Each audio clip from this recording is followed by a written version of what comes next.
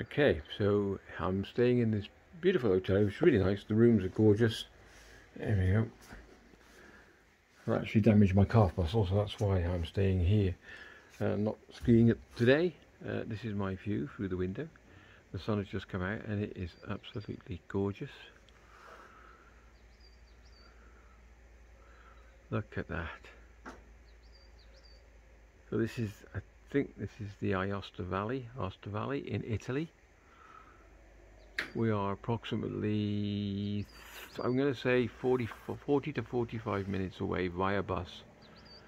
There's a bus going up there, if you can see that. Um, about 45 minutes away from the ski resort in Pila, uh, run by Interski. And uh, we've been skiing in the Alps with uh, a group of people young ladies and gentlemen. They're having a great time. And I just thought I'd show you where we're staying. This is the surrounding area.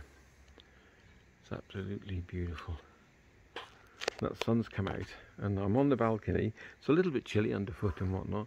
But if I go back in my room and stand back a bit, I'm going to get a chair out. I'm going to get a tan. I'll try and zoom a little bit more for the mountains. Here we go. Is that too much? Let's come out a bit. Look at this. Absolutely amazing. Sorry about the sun glare. You're probably going to get a bit of that, but that's what I'm looking at. Absolutely amazing. I think it's 2,800 meters up when we get to the right to the top when we're skiing um, or from the gondola then you take more lifts going up. And this is it.